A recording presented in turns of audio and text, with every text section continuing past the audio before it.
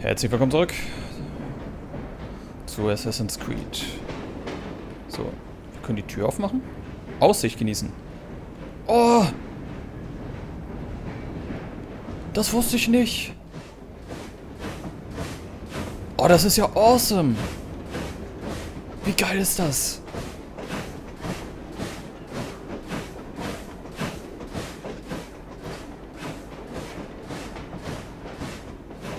Der Wahnsinn.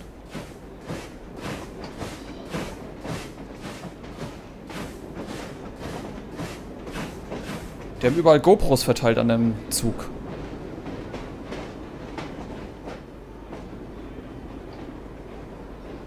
Oh, hätte ich das gewusst, ne? Hätte ich die eine Zugfahrt ja so verbracht. Warum sagt mir das niemand? Das ist ja Hammer. Oh, so viele Winkel und alles.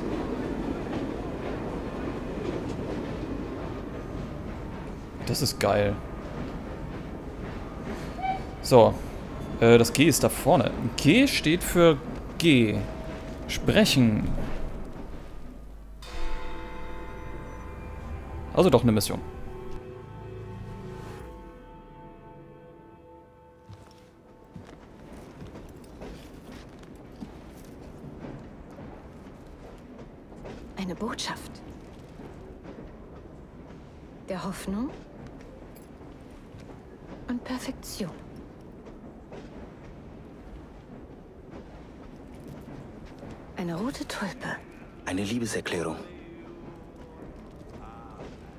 Ich, ähm, Miss Fry, ähm, Sie wissen, dass ich Sie außerordentlich hoch schätze und, und achte. Und ich frage mich, ob Sie mir die Ehre erweisen würden, mir Ihre Hand zu reichen. Um mich zu ehelichen. Ja,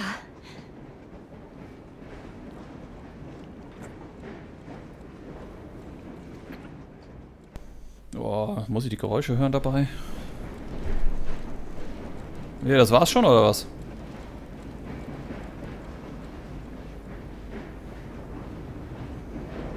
Nicht euer Ernst.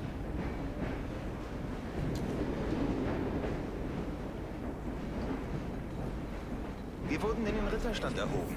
So viel zum Kampf aus den Schatten. Ja, das stimmt allerdings. Alle tot. Ja. Das scheint so wirklich gewesen zu sein. Oder gibt es noch irgendwo etwas auf London? Nein? Wie sieht's mit den letzten Helix-Dingern aus?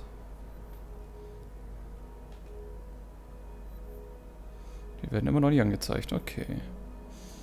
Gut. Ähm. Nein. Dann bedeutet das, das war doch keine Mission. Nur irgendwie die letzte der Sympathisanten-Mission.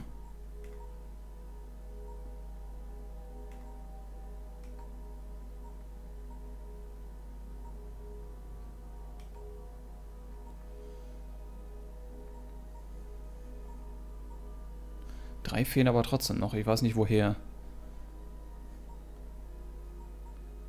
Kopfgeldjagd. Kinderbefreiung. Templerjagd.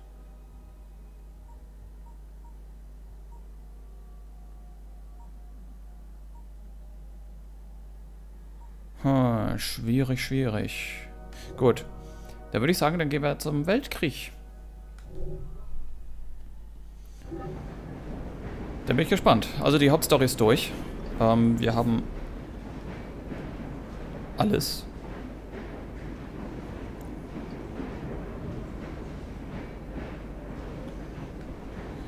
Das ist der Hammer wieder Zug. Der wurde auch immer... Stock versprühst du so eine gewisse Lebensfreude. Danke.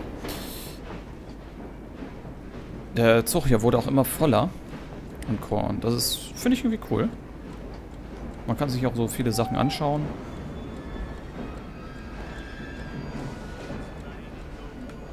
Vielleicht sollten wir uns den mal... Da, der Orden des Secret Service. Reiseuhr. Vielleicht sollten wir erstmal den Zug mal angucken, bevor ich irgendwas mache. Eine Totenkopfflagge, genau. Schön. Wahrscheinlich, weil wir den Keller von ähm, den Piraten entdeckt haben. Das hatten wir, glaube ich, in diesem Spiel hier. Wenn ich mich nicht irre. Da hatten wir doch den gefunden.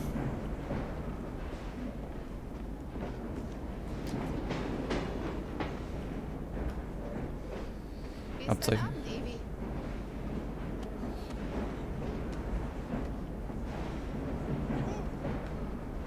Ja, da fehlt tatsächlich noch irgendwas. Dame Evie. Wenn ich nur wüsste, wie man knickst.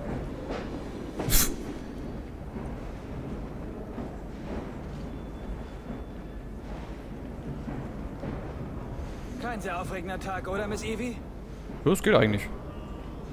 Das Spiel ist fast durch. Ich sag fast, weil der Weltkrieg wird lang sein anscheinend. Wie fühlt man sich als reicher Schnösel, ha? Och, ganz gut, weil mein Geld ist ja nicht wenig hier.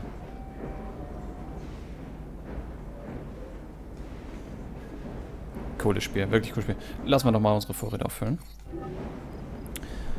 Und ähm, dann würde ich sagen, machen wir uns auf zur Themse.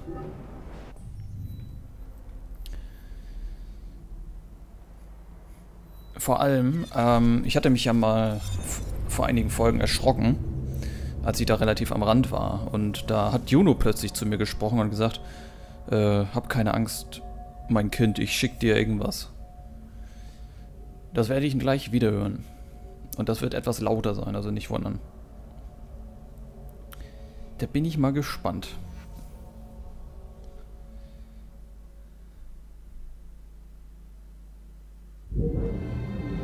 So.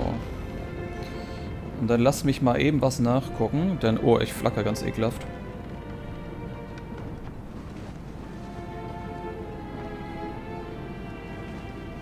Ich will mal kurz was schauen.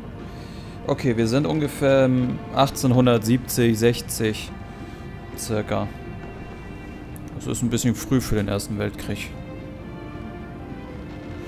Aber das könnten Evie und Jacob noch erlebt haben. So, jetzt will ich da mal hin.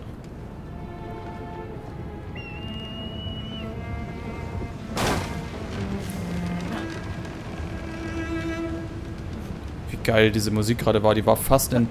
So, ich warte mal auf das Boot da vorne und äh, lass mich dann quasi aus der Themse rausfahren. Das wird jetzt gleich interessant. Naja, nicht wirklich. Mein Umhang blinkt manchmal ein bisschen.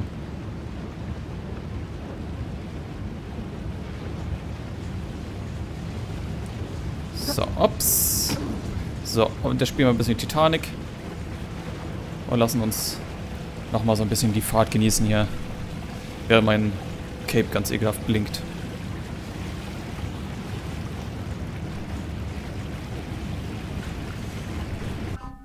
Machen wir das so. Das ist ein bisschen angenehmer für euch. Der blinkt das Cape Warte, nicht so sehr. Nicht.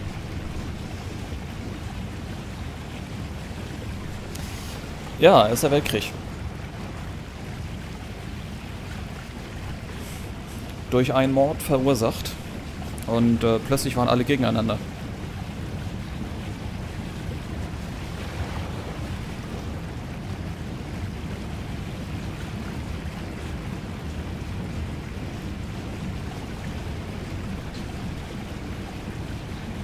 Könnte ja eine Verschwörungstheorie sein, aber ausgelöst wurde es ja alles von Österreich, ne?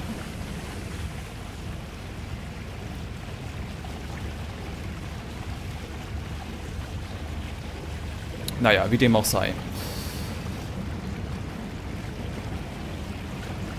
Da lohnt es sich auch nicht drüber zu streiten. Das ist Energieverschwendung.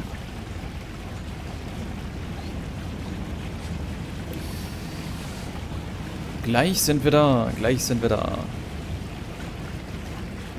Da bin ich mal gespannt, wie das abgeht. Und äh, wenn wir mit dem Krieg durch sind, da kommt Jack the Ripper. Zum Schluss.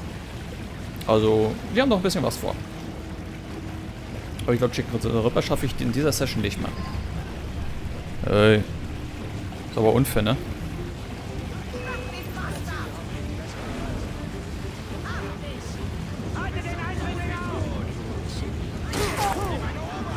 Wir sind doch gerade nur am Durchfahren.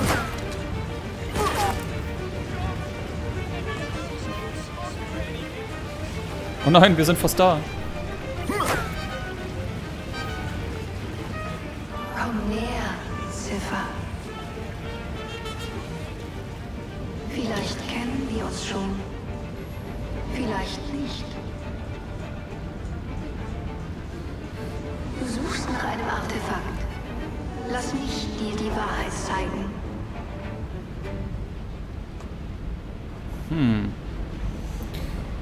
Werden Ziffer genannt, interessanterweise. Und Ziffer ist der, ähm, quasi wir, die im Animus sitzen. Komm näher, Ziffer. Ja, ist ja gut, ich komme ja schon. Was sehe ich denn da eigentlich dahinter? Vielleicht kennen wir uns schon. Was ist das? Vielleicht nicht. Das ist der, ist das die Tower Bridge? Du suchst nach einem Artefakt. Das ist eine Brücke. dir die Wahrheit zeigen. Alles klar. Dunkelte Stunde. Äh. 0, 1, 0, 0, 1, 1, 0, 1, 0, 0, 0, 0, 0, 1, 0, 1 und 1, 1, 1. Die dunkelste Stunde. Vize, bist du da? Deine Anzeigen spielen verrückt. Abruf, komm raus. Du bist jetzt da raus. Hallo. Du hast schon früher nach einem Artefakt gesucht. Doch heute möchte ich mit dir über die Zukunft sprechen. Folge Lydia Fry. Sie wird dich zu mir führen. Lydia Fry, okay. Wenn sie jetzt eine andere Hautfarbe ist, ist es die, to ist es die Tochter, Schrägstrich Sohn von, ja, wahrscheinlich Tochter von Evi. Mal gucken. Klatsch. Ja, die kommt doch ganz nach ihrer Mutter. Okay, den hat sie wohl gerade erledigt. Herzlich willkommen. Offenbar sind wir jetzt in der Zukunft und wir... Ja, das... Ja, wann war der Erste Weltkrieg? Äh, 1910, ne? Ungefähr. 10, 20? Wir waren ja auch relativ dicht beieinander. So, ich hab... Ich hab fast alles. Nicht schlecht. Karte? Wupp, wupp, wupp, wupp. Äh, okay. Karte ist. Ignorieren wir mal. Ich habe kein Inventar. Mhm. Und ich habe 250 Dollar nur. Äh, Pfund. Okay, wir untersuchen das Haus. Also wir sollten ein bisschen da unten untersuchen, weil wir schon mal hier sind. Was haben wir hier? Deaktivieren.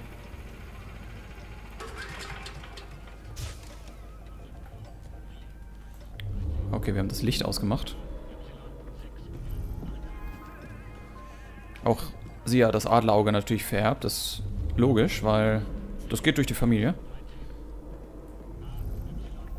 Radio?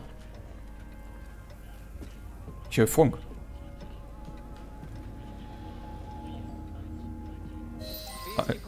Der zweiten Welle? Da brennt's. Eine Stunde entfernt, höchstens.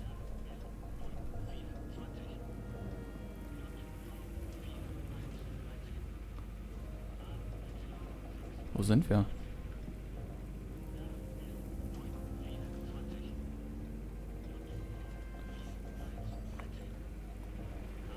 Ich weiß gar nicht, wie krank, äh, wie krass ist eigentlich England betroffen vom Ersten Weltkrieg gewesen. Okay, es wird durch den Funk irgendwas gegeben. Wahrscheinlich sind das Templer da unten, sonst würde ich mich ja nicht gegen sie wenden. Generator. Wenn Sie sich ein Generator ausschalten, schalten Sie gleichzeitig alle verbundenen Geräte ab. Personen in der Nähe werden kommen, um den Vorfall zu untersuchen. Außerdem konnte ich den Rest des Textes nicht mehr lesen.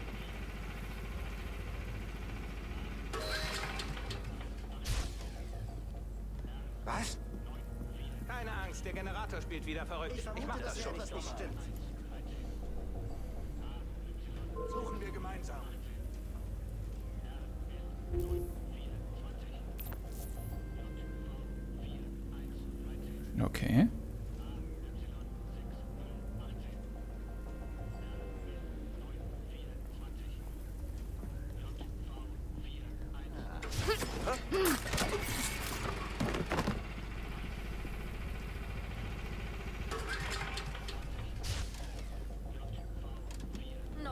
Problem. Perfekt. Ach, wenn ich hiermit fertig bin, mache ich wieder irgendeinen anderen. Mal einen anderen. Uh, Na du. Ich mach dich.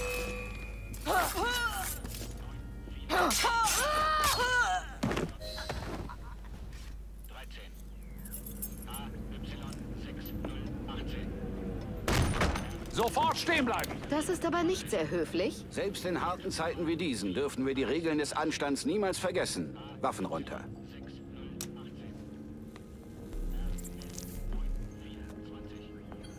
Anscheinend verfolgten wir beide dieselbe Spur, Miss Fry. Ich war zuerst hier. In der Tat, Sie sollten belobigt werden. Ich fürchte allerdings, dass wir das Böse in dieser Gegend noch nicht gänzlich ausgemerzt haben.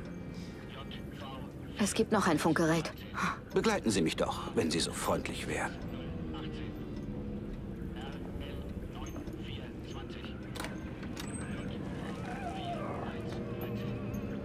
Das zweite Gerät muss gefunden werden, sonst verdunkelt bald eine neue Welle Zeppeline den Himmel. Gehen Ihnen die Soldaten aus, Winston?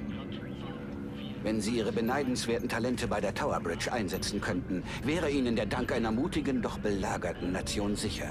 Ich würde mich mit dem Wahlrecht begnügen. Winston Churchill, der spätere Präsident. Und das ist die Tower Bridge.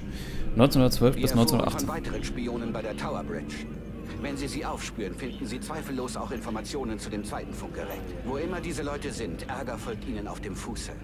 Jemand mit Ihrem Talent sollte keine Probleme haben, sie zu identifizieren. Okay.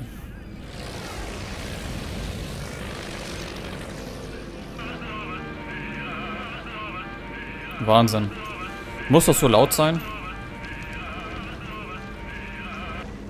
Das klang aber sehr falsch. Falsch. Ah, Licht. Damit versuchen sie natürlich dann eventuell Reflexion ausfindig zu machen und dann drauf zu schießen. Okay, England scheint wohl doch relativ schlimm getroffen zu sein. Gut, Weltkrieg, ne? Die Flugzeuge wurden erfunden, Panzer wurden erfunden. Übrigens ein äh, sehr brutaler, aber empfehlenswerter Film ist dann zu sehen. Äh, Im Westen nichts Neues. Das spielt gegen Ende 1918. An der, an der Westfront von Paris sozusagen. Oder in Paris. Wo die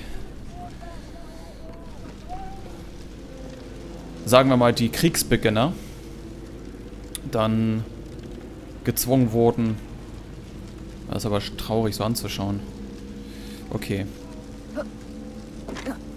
Ich habe mich nach dem ganzen Durchspielen des Spiels ja an die an London, sag ich mal, gewöhnt und Kisten!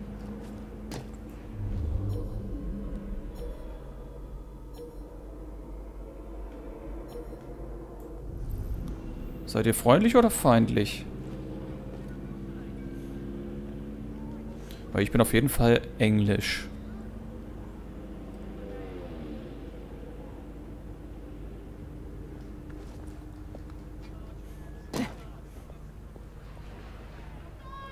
Identifiziert euch, wer seid ihr?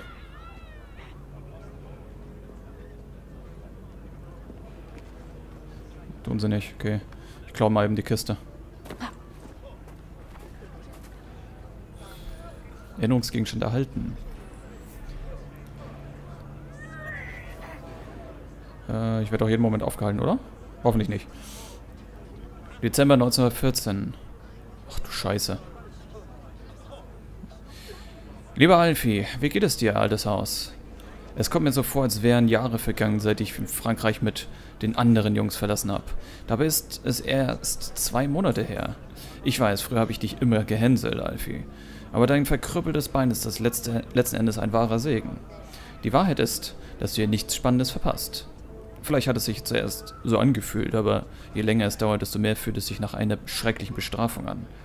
In England wird bald Weihnachten gefeiert, aber hier nicht. Auf diesen kalten und nassen Schlachtfeldern. Diese, diese Woche haben wir einen neuen Schützengraben ausgehoben. Und wir haben alle Witze gemacht, dass wir unsere eigenen Gräber schaufeln. Wir haben gelacht, Alfie. Aber ich frage mich, ob wir nicht vielleicht recht hatten. Und alle wussten. Dein Kumpel Gerald. Private Gerard, Collingfield. Achso, ne, Private Gerard Collingfield kehrte nach England zurück und verbrachte den Rest des Krieges in einem Militärlazarett. Sind das, das sind echte Briefe, doch. Wahnsinn. Das macht den Film, den ich gesehen habe, noch erschreckender. Und wir alle sollten eigentlich darauf hinarbeiten.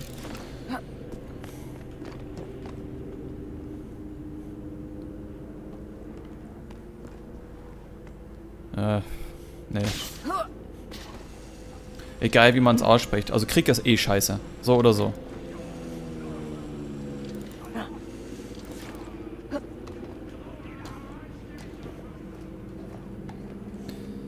Ich weiß nicht, wie es jetzt später aussieht. Ähm, zum jetzigen Zeitpunkt... Das ist Nelix. Zum jetzigen Zeitpunkt ähm, ist der Ukraine-Russland-Krieg. Und äh, es ist schon verzwickt, ne? Wie willst du... Wie will man das verhindern? Also wenn es zum dritten Welt... Scheiße. Wenn es zum dritten Weltkrieg kommt, dann ist das allein Russlands Schuld. Weil die haben angefangen. So. Das ist Fakt.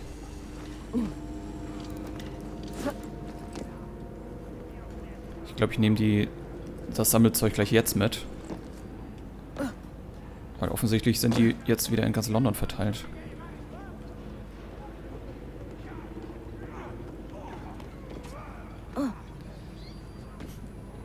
Ja, und wenn es Krieg gibt, dann es, geht auf jeden Fall die Welt den Bach runter.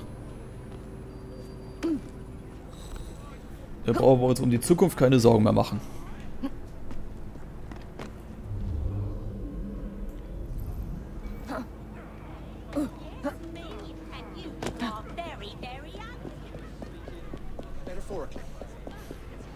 Jetzt gleich mit. Februar 1916. Schön, dass sie diese, dass sie das von den Eltern ge geerbt hat hier. Liebe Becky, dein Bruder Andrew bat mich, dir zu schreiben, da es dir zurzeit nicht in der Lage ist, selbst es zu tun. Aber sei bitte, äh, aber sei, sei bitte nicht beunruhigt. Es hat nur oberflächliche Wunden und erholt sich gut. Er. Er möchte, dass ich dir sage, er hätte sich die Verletzung bei einem gewagten Ein-Mann-Angriff auf feindlichen Territorium zugezogen, bei dem er die Hälfte der deutschen Truppen erledigt hatte und selbst nur ein paar Kratzer abbekam.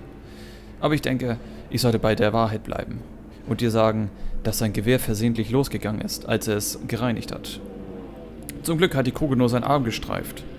Er hofft, dass es dir gut geht und die verdammte Zeppeline es nicht geschafft haben, Bombe in der Nähe von Bromley abzuwerfen. Ich hoffe, dich eines Tages kennenzulernen, da mir dein Bruder so viel von dir erzählt hat. Peter Sterling. Sowohl Corporal Andrews Fellows, Fellows als auch Corporal Sterling kamen einige Monate später ums Leben, als ihr Transportfahrzeug von Mörserfeuer getroffen wurde. Ja. Hart. ist übel. Das so vorzulesen, ne? Und du versetzt dich quasi in die Lage von denen. Und dann liest du, zack, tot. Weg. Ausgelöscht existiert nicht mehr.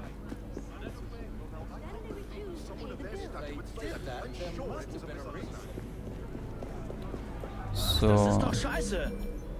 Es können jederzeit Bomben fallen und die sperren die verdammte Brücke. Hm. Information stehlen.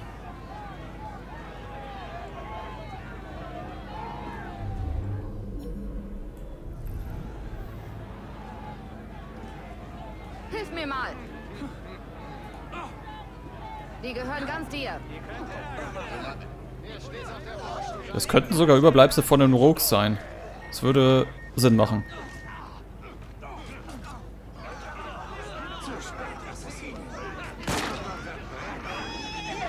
Sind aber ziemlich schwach.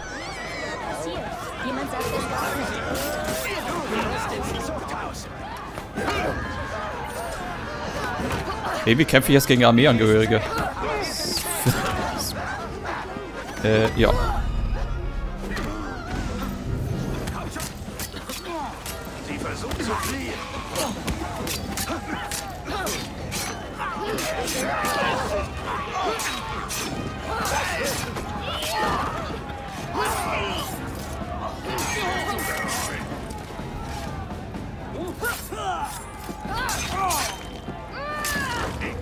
Macht aber nicht so viel Schaden wie die Eltern. Ah, hier steht was von einem Funkgerät. Aber wo ist es? Gute Frage. Nicht einfach aus dem Weg. Dieser neue Captain hat komische Ideen. Ich hätte die auch alle weglocken können, ne? Ach, was bin ich in einem... Was bin ich für ein kriegerischer Mensch hier? Okay. Gut, wir haben den ersten. Dann würde ich sagen... Schauen wir uns doch mal die Karte an. Okay, der Erste Weltkrieg spielt... Nice.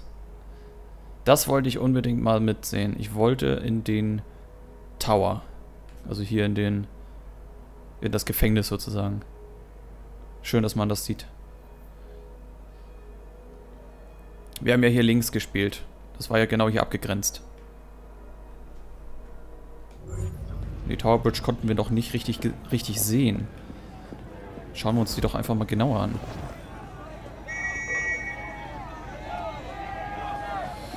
Auf jeden Fall ist Unruhe hier.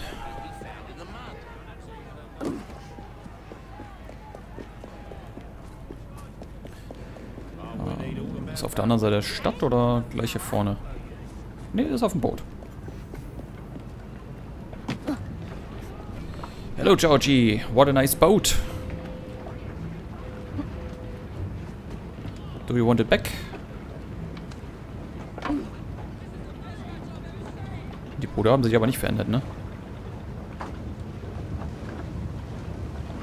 Naja, wobei doch schon ein bisschen. Unser Funk wird die Zeppeline weit hergeführt haben. Dann herrscht ein nie dagewesenes Chaos. Gehen wir mal von aus, dass es Templer sind.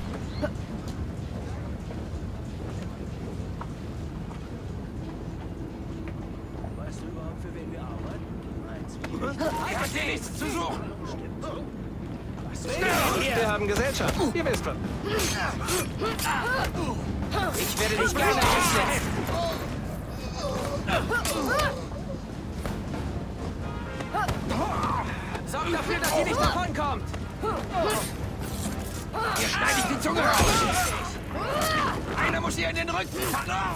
Mal sehen, wie unsere Redereien sind.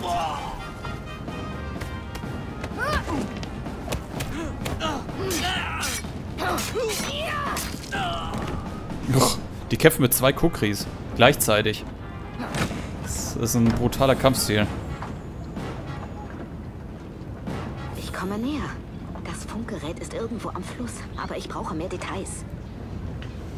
Oh, die Stimme ist auch etwas anders. Die Stimme ähnelt Evi. Aber nur viel höher. Nein, ich will doch dahin. Nein. Oh, ich habe es gerade noch geschafft. Sehr gut. Ja, also wir werden ähm, da noch weitermachen. Und dran arbeiten.